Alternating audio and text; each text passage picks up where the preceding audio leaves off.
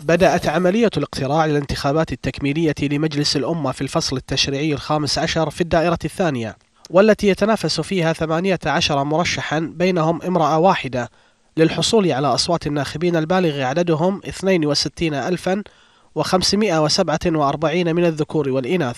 عملية الاقتراع سارت مع بداية فتح الصناديق بشكل ضعيف ثم نشطت بعد ذلك على فترات متلاحقة وسط تعاون مشترك من قبل الجهات المعنية. مفرح بأن تبدأ الانتخابات اليوم وصحيح العدد كبير ولكن نتمنى للأخوة إن شاء الله التوفيق والنجاح في المهمة اللي موجودة عندهم. إن شاء الله توطئة لانتخابات جاية إن شاء الله تكون فترة أطول أمامهم. واجب وطني علينا وهو المشاركة في الانتخابات التكميلية. ونتمنى لجميع المرشحين التوفيق إن شاء الله. ونعمل لكل أيضا من شارك التوفيق بإذن الله.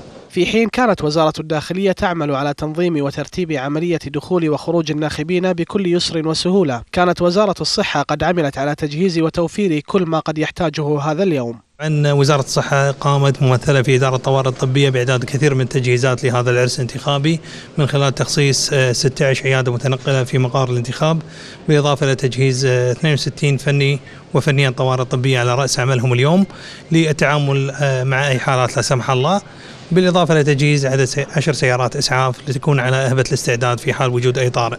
كبار السن وذوي الاحتياجات الخاصة كان لهم نصيب من الخدمات المقدمة أثناء الإدلاء بأصواتهم.